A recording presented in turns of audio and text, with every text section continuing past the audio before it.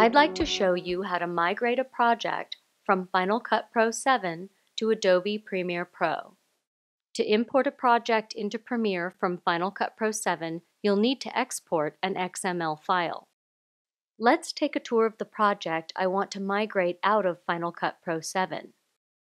In this Final Cut Pro 7 timeline, I have an opening shot of two clips and the logo flying in. The clips have a crop effect applied to them. You can see this one has a crop to the right, and the one below it has a crop to the left. Also, this shot has a speed change. Further down the timeline, there's a customized wipe that has a color and a border applied. Composite modes have been applied to some shots. This is called the screen composite mode. Down in the audio tracks, you can see that the audio levels have been adjusted and there have been audio transitions applied. I'd like to migrate the entire project. To begin, everything should be deselected in the project panel. You can do that from the Edit menu by choosing Deselect All. It may seem counterintuitive, but by deselecting all, the entire project will migrate. To export the XML, go to the File menu, choose Export, and then select XML. This will export all 16 bins, the 43 clips within them, and one sequence. Press OK.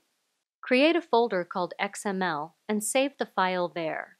That way it'll be easy to find when you're ready to import it into Premiere Pro. Press Save to export the XML. Create a new project in Premiere. Right-click in the Project panel and choose Import.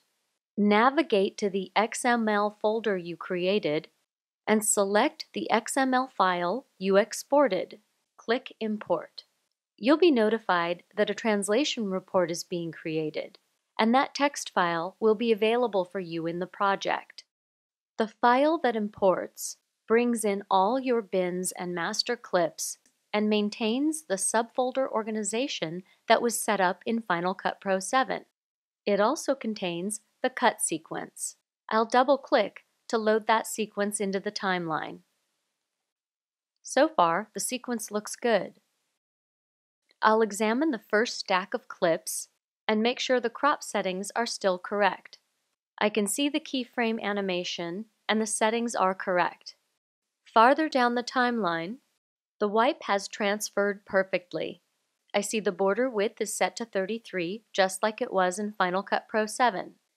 The border color translated too. This clip on V2 contains a composite mode.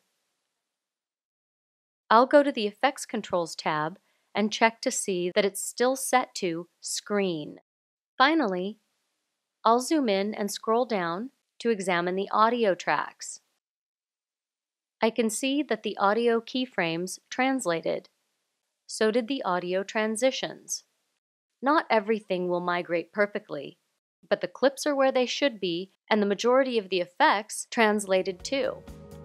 I'm now ready to get back to work in Adobe Premiere Pro.